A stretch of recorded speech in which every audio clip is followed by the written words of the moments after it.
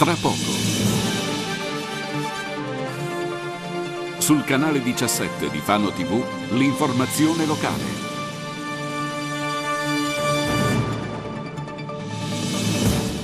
Sgominata dai carabinieri una banda specializzata in furti e colpi in villa tra Romagna e Marche, ordinata la custodia cautelare per cinque albanesi. Sit-in a Pesaro del sindacato di polizia che protesta contro la sede della questura all'ex intendenza di finanza. Auto finisce contro un albero e si ribalta, ferito in modo lieve il conducente, grave invece una donna a Pesaro investita sulle strisce pedonali. Fano De Cesari, iniziata la posa in opera della sabbia nell'arena del Pincio, il sindaco Seri firma l'ordinanza no vetro e no botti. Da domani a domenica torna a Novilara la settima edizione di Tagliatelle al Castello.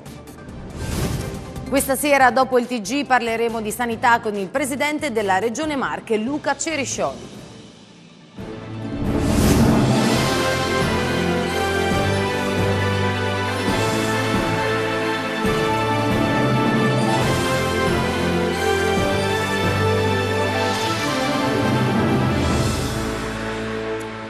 Un cordiale saluto dalla redazione di Occhio alla Notizia, ben ritrovati sul canale 17 del Digitale Terrestre. Apriamo il nostro telegiornale con la cronaca perché i carabinieri di Fano e di Riccione hanno sgominato una banda di albanesi responsabile di almeno due rapine e nove furti nella provincia di Pesaro e Urbino. Questa mattina sono stati illustrati tutti i dettagli durante una conferenza stampa e c'era per noi Lino Balestra.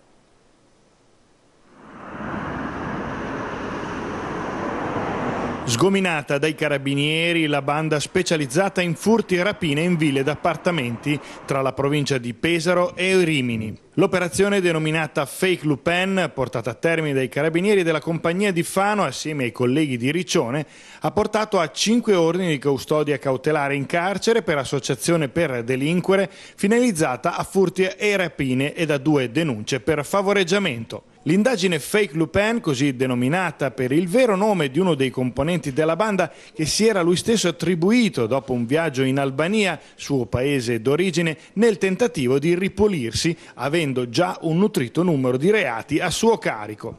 Le misure cautelari chieste dal PM di Pesaro Silvia Cecchi e firmate dal GIP Francesco Messina sono state notificate a persone già in carcere e che sarebbero usciti a breve per scadenza dei termini, ma ora, grazie alle misure richieste dai giudici, rimarranno in cella. I denunciati sono un cinquantenne albanese residente da 20 anni a Fano, con precedenti per spaccio, risultato essere il basista della banda, ben inserito nella comunità e di diversi contesti sociali, senza una fissa occupazione però, e che aveva accompagnato i membri della banda ad acquistare gli arnesi da scasso in ferramenta, pagandoli di persona, ed un 57enne italiano che aveva affittato alla gang un appartamento a Fano dove erano stati fermati nel blitz notturno dei carabinieri di Riccione nel quartiere di Gimarra di Fano l'inverno scorso. I quattro albanesi destinatari delle misure cautelari tra i 25 e i 34 anni erano stati arrestati nel gennaio scorso dai carabinieri di Riccione dopo una rapina a Salludecio. Il quinto, un 41enne, anch'esso albanese, che in patria si era cambiato il nome appunto con Lupin, in omaggio al celebre personaggio letterario, il ladro Arsenio Lupin, era invece detenuto per altra causa. Secondo i carabinieri del nucleo investigativo di Fano, guidati dal tenente Luigi Grella, sarebbe stato proprio lui il capo dell'organizzazione. Anche in questo caso la collaborazione del cittadino è stata premiante e noi ringraziamo tutti coloro i quali ogni volta notano qualcosa di sospetto, chiamano il 112, vengono in caserma o fermano una nostra eh, pattuglia. Effettivamente ha fatto la, la differenza perché se non fosse stato per questo bravo cittadino che eh, oltre ad aver visto e osservato per lungo tempo quello che di strano effettivamente stava avvenendo sotto, sotto casa sua, eh, sicuramente non potevamo mai raggiungere questi risultati lusinghieri. Possiamo dire che grazie alla perfetta sinergia con eh, i colleghi paritetici del nucleo operativo della compagnia eh, di Riccione il fenomeno dei furti in abitazione è stato infrenato in modo significativo, questo ce lo dicono i dati preoccupati. Il trend dei furti in abitazione in Fano ma più in generale nella provincia di Pesaro Urbino è in, eh, in, netto, in netto calo. La vera svolta delle indagini quindi l'hanno data con le loro segnalazioni alcuni cittadini, vittime loro stessi di furti che hanno fornito ai carabinieri date e circostanze che hanno consentito di intercettare la brutta coppia di Lupin alla guida di una vecchia Fiat stilo blu, intestata ad un romano prestanome con precedenti penali, con altre 200 auto intestate e utilizzata dalla banda per compiere gli spostamenti e i sopralluoghi prima dei colpi colpi, come le tante segnalazioni dei cittadini avevano denunciato.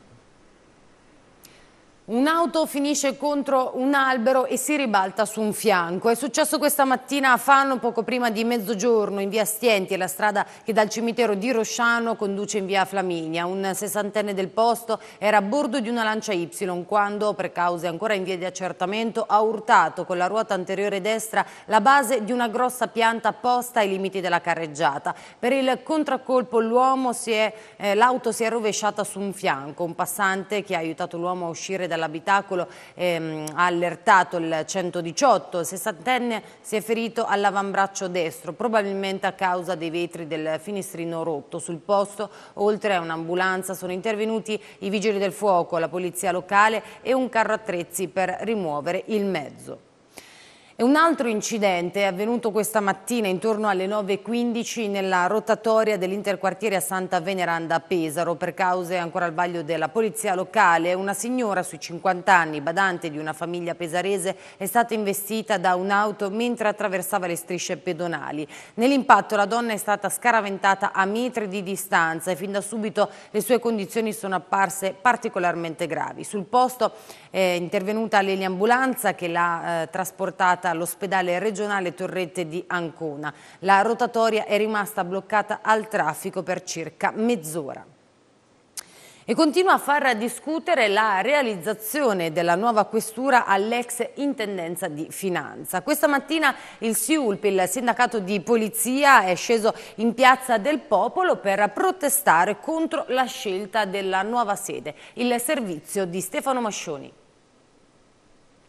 Siamo in Piazza del Popolo dove fra qualche minuto andrà in scena una protesta della polizia che non accetta la nuova soluzione scelta per la questura. Quella che vedete alle mie spalle invece è attualmente il palazzo dove è ospitata la questura, palazzo che è stato venduto dalla provincia e che quindi la questura dovrà lasciare. La sede trovata per la questura è dall'altra parte della piazza, è il palazzo dell'ex intendenza di finanza che però nella sua base, nel suo basamento ha dei negozi e questo creerebbe sicuramente dei problemi anche se il sindaco Ricci Medici ha proposto una soluzione provvisoria per far stare i negozi in un box costruito all'interno della piazza durante i lavori, secondo i poliziotti questa non è la soluzione ottimale, andiamo a sentire il perché.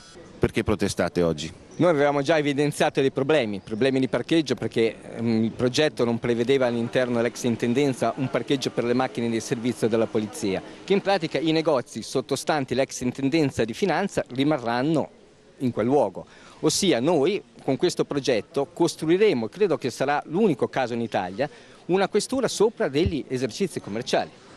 Quindi noi, una questura che è un obiettivo militare, un obiettivo molto sensibile, in un momento come questo in cui l'allarme terrorismo è ancora molto elevato, molto alto, noi chiaramente la questura dobbiamo difenderla, tutelarla, mettiamo delle telecamere tutto intorno, anche l'accesso alla questura è regolamentato da eh, controlliamo tutte le persone, tutti i mezzi che entrano. Noi come sindacato abbiamo proposto come soluzione alternativa la sede della provincia per un motivo semplice, che abbiamo saputo che da 600 dipendenti, di dipendenti sono passati a 200, quindi la provincia è molto sottodimensionata, sottoutilizzata in questo momento.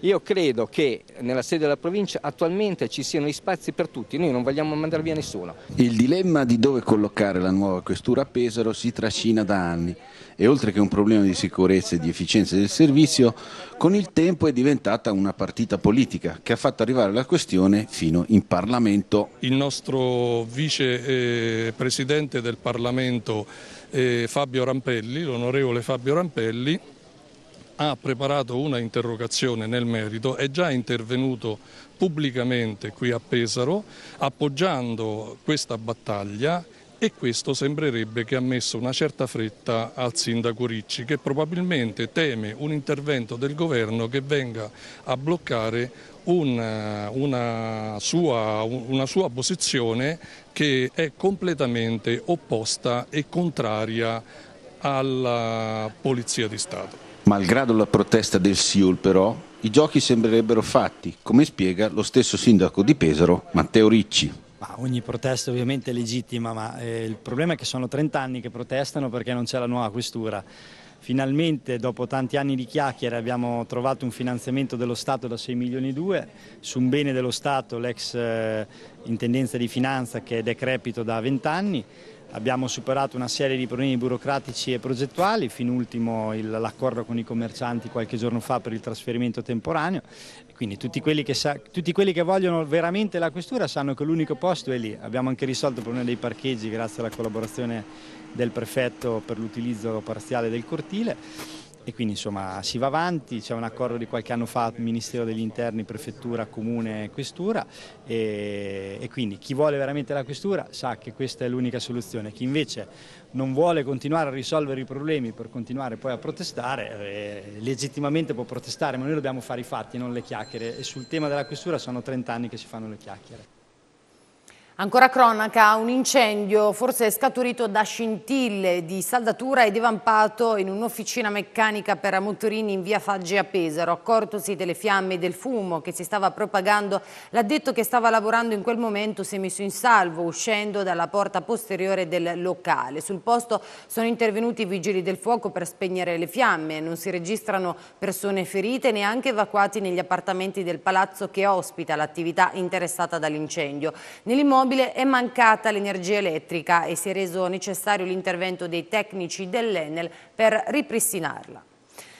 Ancora un incidente ma autonomo nel pomeriggio di oggi a Fano intorno alle ore 16 una ragazza a bordo della sua auto stava percorrendo la superstrada in direzione mare nel tratto compreso tra Bellocchi e Fano Sud quando ha perso il controllo del mezzo finendo contro il guardrail. La giovane è stata trasportata al pronto soccorso del Santa Croce in codice verde. Si sono stabilizzate invece le condizioni di Marco Talamelli, il ventottenne ricoverato al torrente di Ancona dopo un incidente in moto avvenuto l'altra sera lungo la Flaminia Carrara di Fano. Il giovane aveva perso il controllo del mezzo dopo essere finito con la ruota anteriore in una buca. Dopo lo schianto le sue condizioni erano apparse fin da subito gravi. Oggi il padre, che gestisce una concessione balneare a Fano, ha pubblicato un post nella sua pagina Facebook ringraziando tutti coloro che hanno dimostrato vicinanza vicinanza a Marco. Attualmente le sue condizioni sono stabili, ha precisato, e lo tengono sedato. C'è stato un nuovo prelievo multiorgano all'ospedale di Fano, sono stati donati reni e fegato.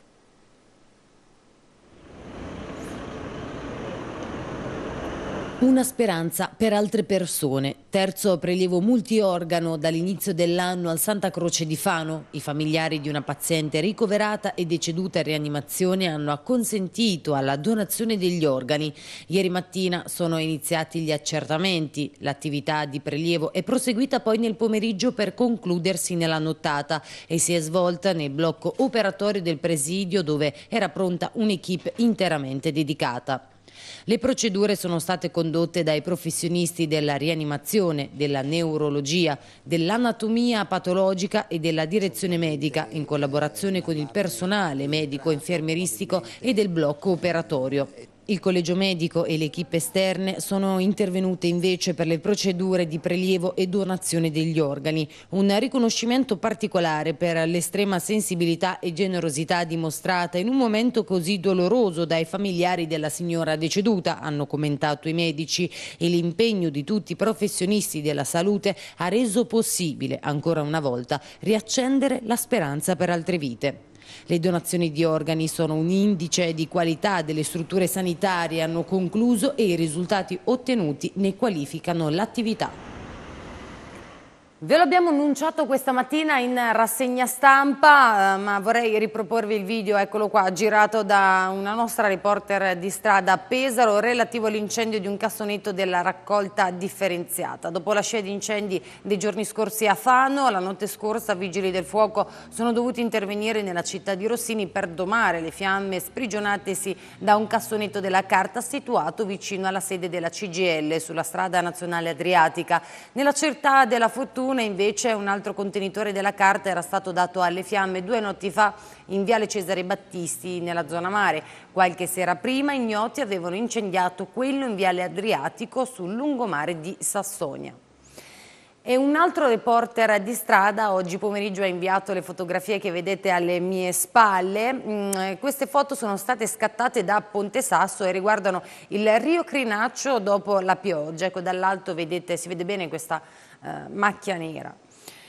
Ed ora torniamo a parlare della Fano dei Cesari perché nella zona del Pincio è iniziata la posa in opera della sabbia, posizionate anche 600 balle di paglia. Siamo nell'area del Pincio dove questa mattina sono iniziati i lavori di posa della sabbia, quindi Etienne, un Pincio che l'arena sta prendendo sempre più forma e, e dimensione. Sta prendendo forma l'arena, oggi pomeriggio inizierà a prendere forma gli accampamenti l'area del Pincio, sta già prendendo forma tutta l'area del San Michele con l'antico Macellum, quindi ovviamente siamo in fermento per la preparazione di questo evento che da domani partirà eh, con dei numeri anche importanti importanti, stamattina sono arrivate più di 600 balle di paglia e altre 600 ne arriveranno per chiudere il percorso domenica, eh, circa 500 metri cubi di sabbia che verranno stesi in questo percorso con delle aziende ovviamente eh, specializzate su questo tipo di lavorazione eh, e quindi una città che si sta muovendo pronti per eh, questo evento che si pronuncia con tanto fermento. Direi di sì, c'è tanto, tanto rumore nell'aria e questo fa bene. Quant'è il manto, lo spessore lo sai, te l'hanno detto? Sì, sì, assolutamente, rispettiamo quelle che sono le disposizioni di norma, quindi al centro c'è un minimo, quindi il punto minimo è 20 cm di sabbia pressata, ovviamente dovendo mantenere il manto livellato perfettamente, in alcuni lati arriviamo anche ai 40 cm per rispettare anche un, un piano che serve poi anche per le attività di questi primi giorni, ma anche ai cavalli poi per correre la, nella giornata di domenica. Nella giornata di domenica poi l'anello verrà chiuso, anche la statale nazionale verrà interessata per il breve periodo della, della corsa naturalmente. Sì, sabato notte finita Baccanalia, eh. ovviamente i vigili chiuderanno la strada eh, che verrà subito presa mm, inserendoci la tribuna e poi chiudendo l'anello con paglia, transenne, sabbia come previsto da tutti i piani di sicurezza per fare in modo che chiudiamo l'anello e diamo il via anche all'ultima giornata che prevede la grande parata e la corsa delle bighe. In occasione della Fano dei Cesari, il sindaco di Fano Massimo Seri ha firmato un'ordinanza con la quale dispone per domenica 15 luglio dalle 18 alle ore 24 il divieto di vendita di bevande in bottiglie di vetro in tutto il centro storico e in un raggio di 200 metri dalla zona del Pincio, come potete vedere dall'area color rosa nella planimetria. È vietato inoltre l'uso di bevande in contenitori diversi dalla plastica all'esterno degli esercizi pubblici in tutto il centro storico e sempre in un raggio raggio di 200 metri in zona Pincio. Infine il divieto d'uso nella stessa area di botti, di petardi e di fuochi d'artificio di qualunque dimensione e classificazione. I trasgressori potranno incorrere in sanzioni. Ancora Fano dei Cesari, questa sera si svolgeranno delle iniziative culturali, ci sarà un viaggio alla scoperta delle origini delle mura augustee che da migliaia di anni proteggono la città. Due i momenti programmati, il primo alle 21.15 alla Sala San Michele all'Arco d'Augusto con la serata vitruviana che si svolgerà in due tempi. Nella prima parte il professor Oscar May dell'Università di Urbino terrà una conferenza durante la quale illustrerà la rispondenza tra il dettato vitruviano in merito alla costruzione di mura dalla quale quale si potrebbe avanzare l'ipotesi di una possibile attribuzione a Vitruvio del prestigioso monumento. Nella seconda parte invece alcuni ragazzi del liceo classico daranno vita ad una lettura scenica di brani del De Architettura di Vitruvio e verranno accompagnati dal pianista Filippo Mei. L'altro momento è previsto invece domani alle 21.15 a Palazzo Corbelli in via Arco d'Augusto 47 dove il professor Francesco Milesi terrà una conferenza dal titolo La moneta romana imperiale, cenni storici e iconografia. Da domani invece si entrerà nel vivo dell'evento con gli accampamenti, i giochi e le sfide fra le quattro fazioni. I protagonisti saranno i bambini con la Fano dei Cesarini. In città si respira ogni minuto di più l'aria dell'antica Fanon Fortune con la manifestazione che sta entrando nel cuore dei fanesi e dei turisti che già dal primo giorno dell'inaugurazione si sono immersi in usi e costumi di oltre 2000 anni fa. Domani, giovedì 12 luglio, sarà la giornata dedicata ai più piccoli con la Fano dei Cesarini, organizzata dal Comitato Genitori Sant'Orso. I baby romani, divisi ovviamente anche loro in base alle fazioni di appartenenza e con a capo l'Auriga, la più piccola è quella del cinghiale di ben due anni, si ritroveranno in piazza 20 settembre alle 18 e da lì partiranno per una sfilata che li condurrà al Pincio. Ad attendere i Cesarini e i loro accompagnatori ci saranno il gruppo storico Giulia Fanestris e lì il gruppo Simmachia Ellenon che faranno immergere adulti e bambini nella meraviglia dell'antica Roma e della Grecia antica con didattiche e approfondimenti. Alle 19.30 via ai primi giochi con le sabbie della fortuna e dalle 20.15 la tanto attesa e divertente corsa delle bighette. Alla colonia Giulia Fanestris quest'anno il compito di ricreare una domus romana ed il Macellum, l'antico mercato.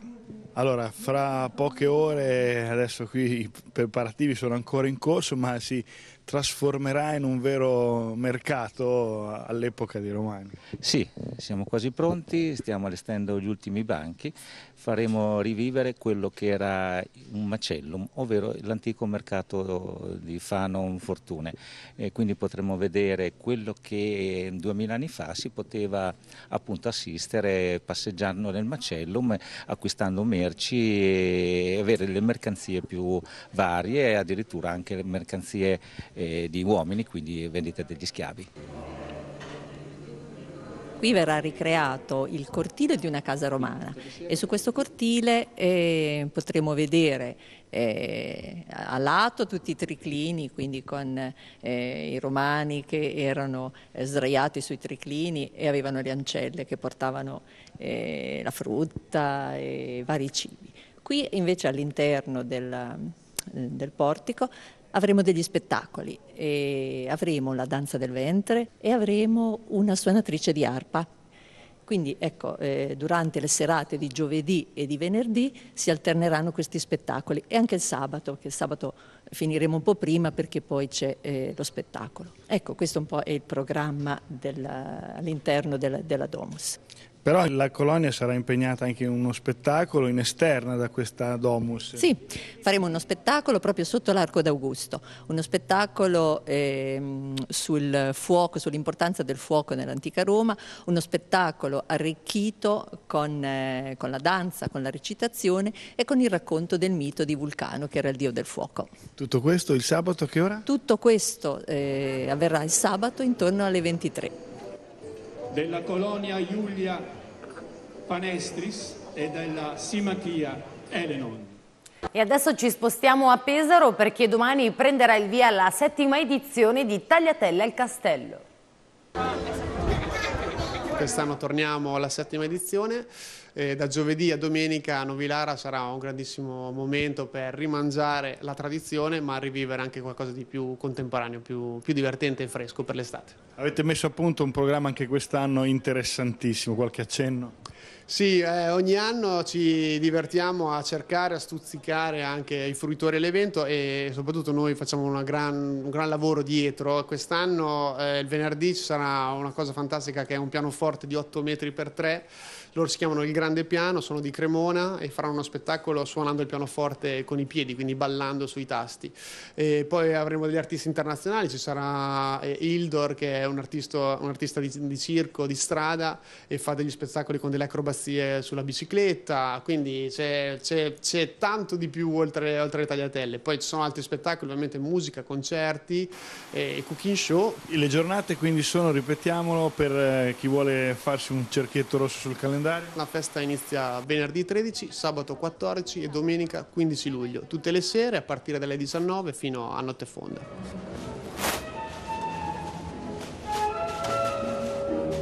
Allora, il cibo, oltre agli spettacoli, però è una parte trainante di questa manifestazione, quindi il cooking show e anche insomma, la buona tavola. Assolutamente sì, infatti io ringrazio Jacopo e tutta l'associazione per avermi coinvolto nell'organizzazione di questa festa, mi sono occupata della parte di spettacolo inerente appunto alla cucina e abbiamo inserito ogni sera quindi uno spettacolo di cucina. Partiamo il venerdì con un cooking show a quattro mani dedicato a Rossini, ovviamente per il suo 150 anno dell'anniversario della morte e mm, poi si passa al sabato invece con uno spettacolo spettacolo che riguarda la tradizione, quindi si sfideranno delle ricette tradizionali della nostra provincia con ehm, eh, una giuria tecnica e una giuria popolare che poi decreterà un vincitore e poi concluderemo il weekend con un cooking show dedicato alla celiachia quindi una tematica molto importante che insomma faremo quindi vedere come si fa la tagliatella per, eh, senza glutine.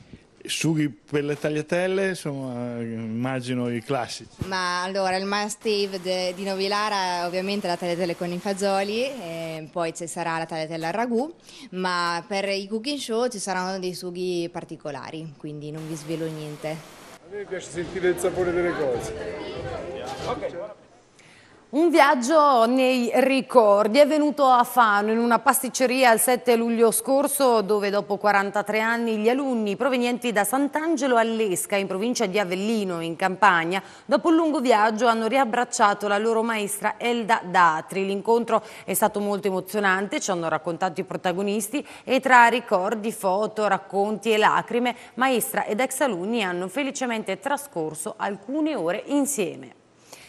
Vi ricordo che subito dopo il telegiornale eh, andrà in onda un approfondimento dedicato alla sanità con il presidente della regione Marche Luca Ceriscioli. Dunque pochissimi minuti di pubblicità e poi ritorniamo qua negli studi di Fano TV. A fra poco.